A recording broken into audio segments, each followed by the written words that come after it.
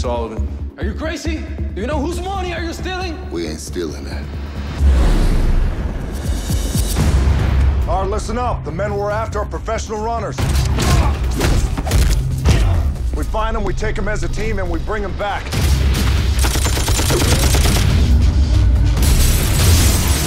And above all else, we don't ever, ever let them get into cars.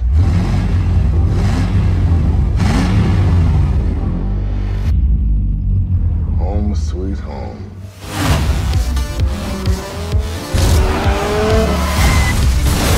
This just went from Mission Impossible to Mission and freaking Sanity. Stick to the plan. If you're gonna survive, stop thinking like a cop. You're in my world now.